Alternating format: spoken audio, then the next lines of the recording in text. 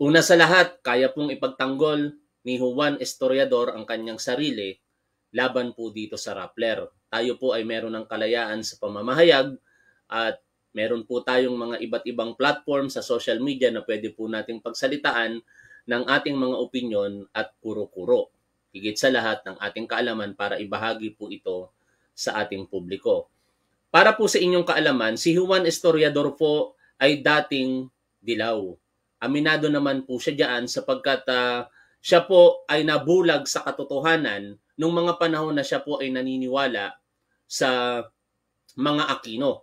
Pero dahil po siya ay isang tao na mapanaliksik at nagsusuri sa mga bagay-bagay, nabuksan po ang kanyang isipan na ang mga mapanlinlang na mga gawain ng mga nakaraang mga manunulat ng kasaysayan ay mali.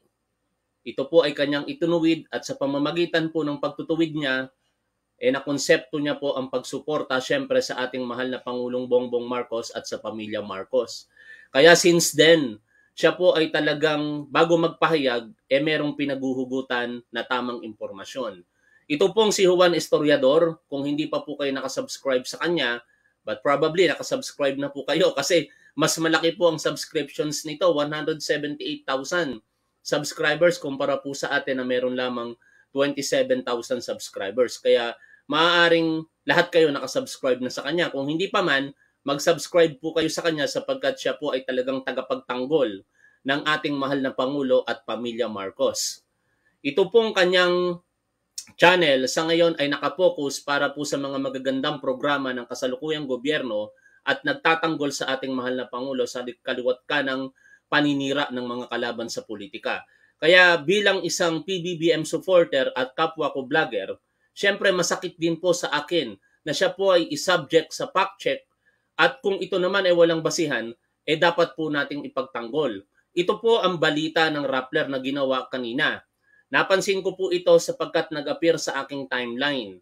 Sabi po dito sa balita, posted 5 p.m. April 1, 2023. Kaya nga po sabi ko sa inyo, baka nag-April Fool's Day po itong Rappler eh mukhang hindi yata nagsisiyasat o kung nagsiyasat man sila, eh mukhang mali yata ang pagkakaunawa nila dito sa photo itself. Pero basahin muna natin ang kanilang balita. Sabi po dito, fact check.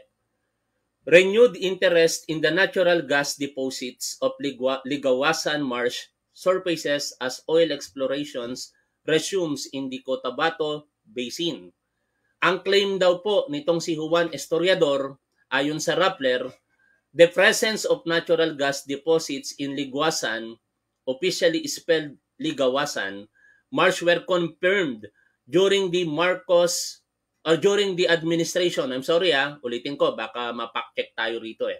Ang claim is the presence of natural gas deposits in Liguasan, officially spelled Ligawasan, March were confirmed during the administration of former President Corazon Aquino.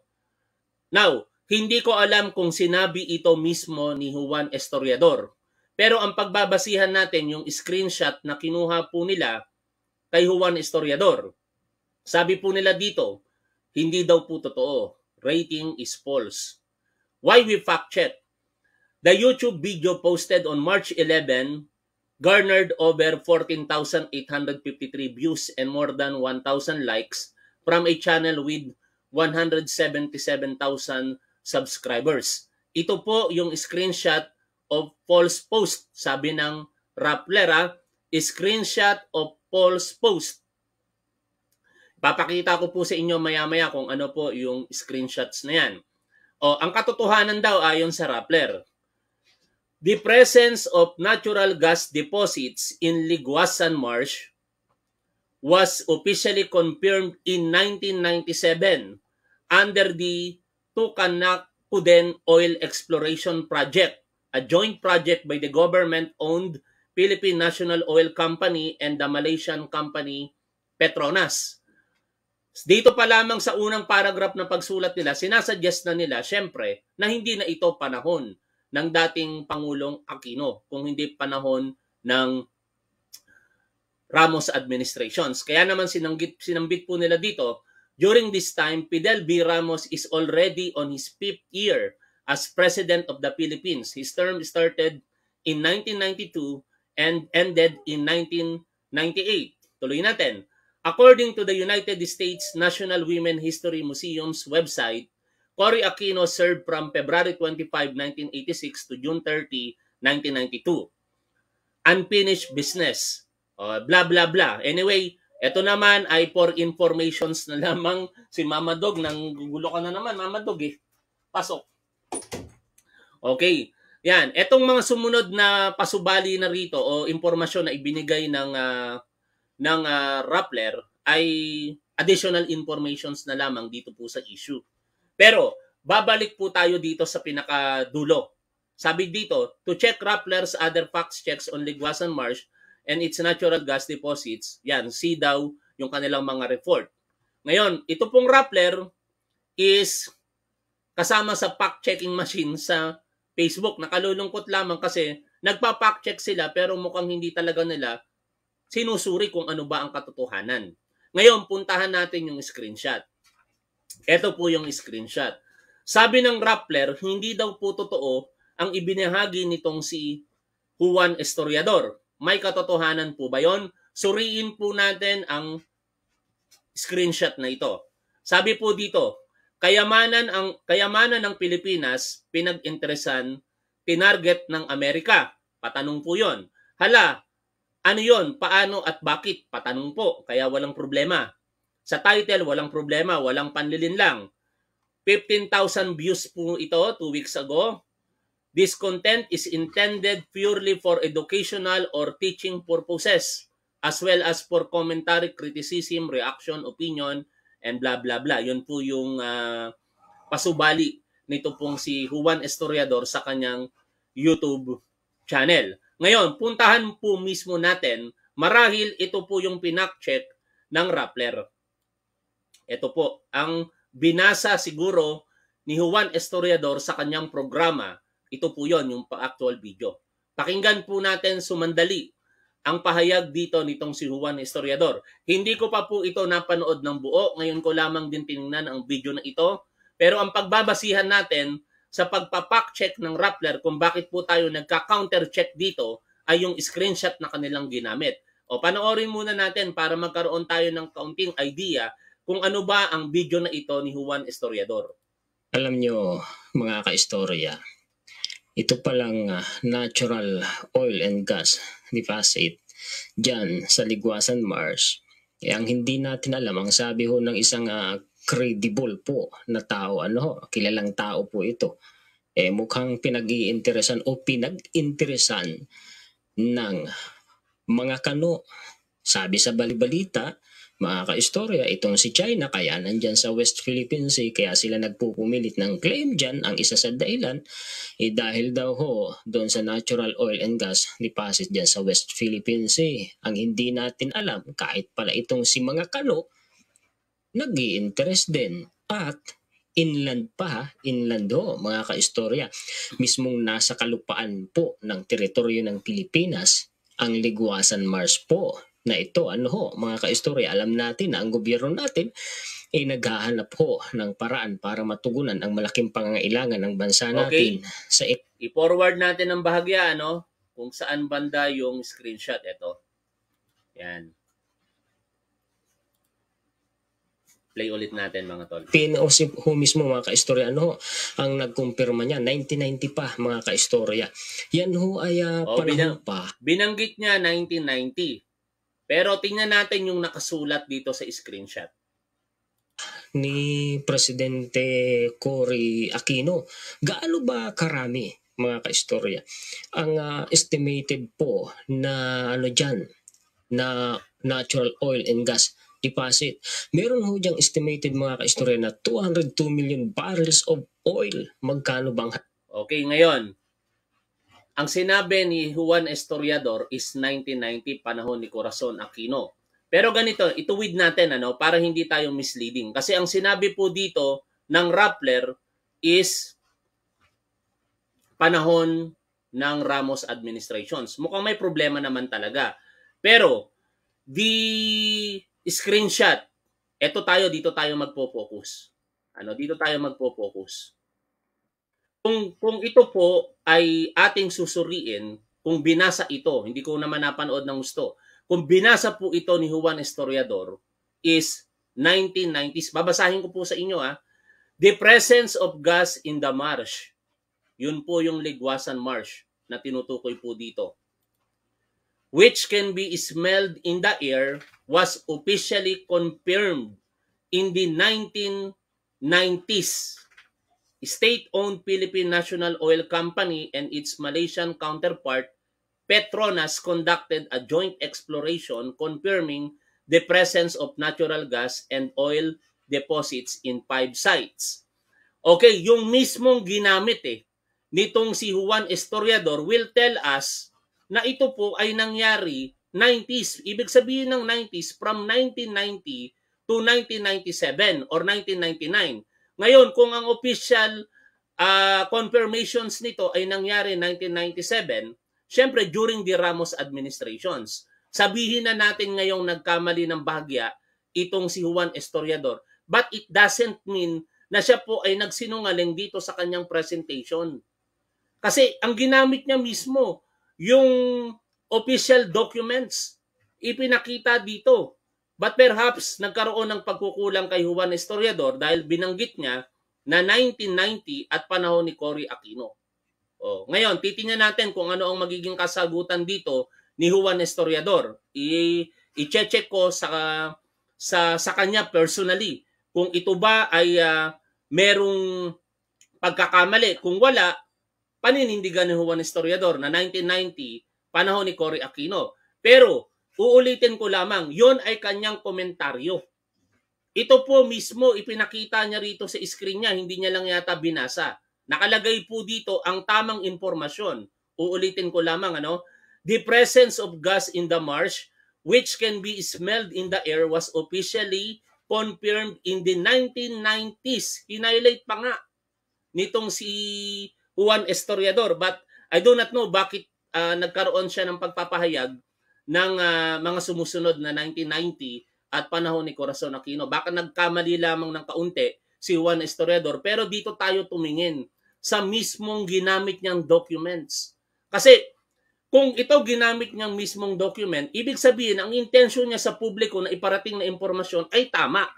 Marahil nagkakamali lang sa kaunting pagsasalita. Parang ako, minsan nakakapagsalita ako ng mga katulad nung katulad ng uh, pagbanggit ko sa sa sa birthday ng ating Pangulong Marcos at ng kanyang ama na pagbaligtad ko yung September 11 and September 13. But it means ba na ako po'y nagsisinungaling na at nag intend na na magpakalat ng fake news? Hindi po. Unang-una, vlogger po kami. At ang ginagawa po namin ay live streaming. Ito po ay hindi hindi uh, edited. Ito po ay kung ano ang nakikita ninyo sa amin habang nagsasalita, real time. Ngayon, kung meron mang pagkakamali, kumbaga sabi nga ni Gloria Macapagal Arroyo before, I am sorry. But that is not uh, that not that does not mean na talagang intended namang naman loko ang isang vlogger. Ako naniniwala ako dito na yung naging komentaryo nitong si Juan Historiador is not to to spread disinformation or misinformation sa harapan po ng publiko. Dahil ito kasi mismo eh, ito yung pagtutuunan natin ng pansin. Pagka gumamit ka ng, ng mga resource material sa internet, yung mismong informations na yon ang pinaguhugutan mo ng katotohanan. Parang tayo, 'di ba? Pag tayo nagpapaliwanag dito, gumagamit tayo ng mga clip, gumagamit tayo ng mga informations, pagka nagbabanggit tayo ng batas, ginagamit natin yung mga particular laws, ganun din dito. Okay? Wala akong nakikitang misrepresentation sa sinabi o sa vlog na ito nitong si Juan Historiador. Perhaps, kung sinabi niya man ito, ulitin natin ha, kung sinabi niya man ito, Meron ho diyang estimated mga kaistorya na 202 million. Gaano ba karami mga kaistorya?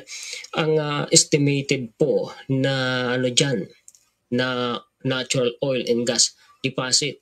Meron ho diyang estimated mga okay, kaistorya. Okay, uh, lumagpas na pala. But anyway, kung ginamit man ni Juan Historiador yung salitang 1990 at panahon ng Corazon Aquino, tingin ko it is just a miss uh, it is just a, a little mistake na hindi dapat bigyan ng maling interpretasyon ng Rappler. Dahil ipinakita naman mismo ni Juan Historiador dito sa kanyang sa kanyang uh, blog yung mismong documents na nagpapakita na ito nga po ay officially confirmed in 1990s. O to be more specific, sabi ng Rappler, 1997. Ngayon, bakit ko to tinapik mga tol? Kasi, alam nyo, kaming mga vlogger, komentarista kami. Kami ay nagbibigay ng opinion sa aming mga balitang napapanood. Kami ay nagbibigay ng uh, kaalaman, nagdadagdag ng kaalaman, not necessarily na nagdadagdag, kami ay nagtuturo ng aming kaunting nalalaman para nang sa ganon, magkaroon din po ng kaalaman kung hindi pa alam ng manonood yung aming sinasabi. Pero hindi po 100% mag magagawa namin na tama lahat yung mga magmumutawi sa aming mga labi. Maraming pagkakataon na maaaring nagkakamali sa sinasabi. Yung mga out of uh, kumbaga out of nowhere words, bigla mo mababanggit but perhaps marirealize mo na lamang, ay mali pala yung nabanggit ko doon sa vlog ko ah. Kaya i-correct mo ito. Ako ilang beses nangyari sa akin yan. Like for example, nung binanggit ko na ang pagkakatatag ng CPP-NPA ay noong December 26, 1969 at March 29, 19, 1970, CPP and NPA respectively, mali po iyon. Pero wala akong intensyon na magpakalat ng impormasyon dahil ang pagkakaalam ko talaga is March March 29, 1969 na itatag ang NPA at December 26, 1968 na itatag ang CPP. Kumbaga, nagkamali lang ako doon sa pag-deliver pero walang misrepresentations. At kung maalala ko yon, iko-correct ko. Nagkamali din ako doon kay Gerald Bantag. Nung tayo po ay nag-live streaming tungkol kay Gerald Bantag, sinambit ko na ang pagkakasuspindi niya sa ikalawang pagkakataon ay kadahilanan ng uh, ng kasong plunder. And then, after a while, na-realize ko, eh tapos na yung live streaming, na mali yung sinabi ko. Kaya kinurek ko. Sinabi ko ngayon, doon sa aking programa, sa mismong uh, pin post nung nabanggit na vlog, na ang pagkakasuspinde sa ikalawang pagkakataon ni Gerald Bantag, ngayon ko lang naalala, ay dahil doon sa interview ng SMNI kay Jobit, Jobito Palparan. O, ngayon mga tol, bakit ko inuulit-ulit yan? Kasi live streaming po ito. Itong ginawa ni ni Juan Historiador, clip po ito sa live streaming. At kung nagkamali man siya, maliit na ba maliit na bahagi lamang 'yon at hindi po iyan nag intend ng disinformation para sa para po sa publiko. Ang lumalabas kasi dito, kapag ka ginawa ito ng Rappler, parang Antimano, sinasabi nilang sinungaling si Juan Historiador at hindi naman po iyon tama. Okay? Kaya dapat ipagtanggol din natin kahit paano itong kasamahan po natin na vlogger. Inuulit ko, kung nagkamali man sa pagsasalita si Juan Historiador dito, tingin ko maliit na pagkakamali lamang yon. Pero ang mahalaga, ipinakita niya mismo eh. Kung si Juan Historiador, sinabi niya na ang Ligwasan March na konfirma 1990 panahon ni Corazon Aquino at wala naman siyang ipinakitang dokumento na katulad ng nakikita natin dito po sa screenshot, yun, sasabihin natin na nagpapakala talaga ng impormasyon na mali itong si Juan Estredor. Pero hindi po ganoon ang bagay eh.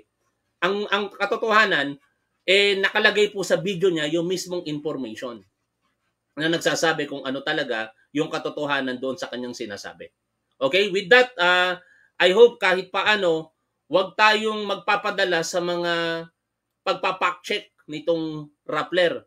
Kasi marami ring pagkakataon in the past na sila po ay nag-fact-check pero mali. Pinak-check nila ang ating Pangulo tungkol doon sa sa windmill. Pinak-check nila base lamang doon sa photograph na naka-upload sa Facebook ng ating mahal na Pangulo. Pero kung susuriin po ninyo ang tatlong vlog ng ating Pangulo sa Facebook at saka sa YouTube, makatotohanan ng sinabi ng ating Pangulo tungkol sa windmill. In particular, yun ay nag-originate sa mga dayuhan. Ang idea ng windmill ay nag-originate sa mga dayuhan at sinuggest sa kanya nung siya ay gobernador. Pero sinabi ng Pangulo na ng una, hindi siya kumbaga kumbinsido na ito ay mag, uh, maglalago diyan po sa area ng Ilocos Norte. In fact, sa unang mga buwan ng kanyang panunungkulan bilang gobernador noong 1998, sinabi niya na binalak niyang gawing golf course o yung mga kaibigan niya na nagmamay-ari ng nasa industriya ng golf course, sila yung kanyang hinimok na tayuan ng golf course, yung bahagi na yon ng uh, ng pinaglagakan diyan po sa ng windmill doon po sa Ilocos Norte. Pero hindi po naging matagumpay kasi ang sinabi ng mga kaibigan niya, hindi ito possible na tayuan ng golf course. Kaya niya naalala muli yung mga dayuhan na pumunta sa kanya para i-offer na magkaroon ng windmill doon po sa lugar. At yon doon na nga po na nagsimula, nakipag-coordinate ang probinsya ng Ilocos Norte hanggang sa maitayo po yung windmill doon po sa Ilocos Norte.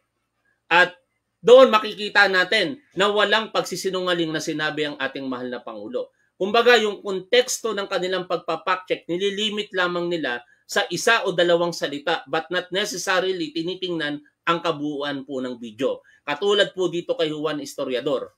16 minute ang video po na ito. Kung meron mang kaunting pagkakamali sa kanyang binanggit, it doesn't mean na nagpapakalat po siya ng maling impormasyon. Okay? Maraming maraming salamat po sa inyo. Bago tayo pansamantalang magtatap magtapos sa ating programa, eh magbabalik muna ako sa inyong mga komento. Shoutout muna sa lahat pong muli ng ating mga manonood. Kay uh,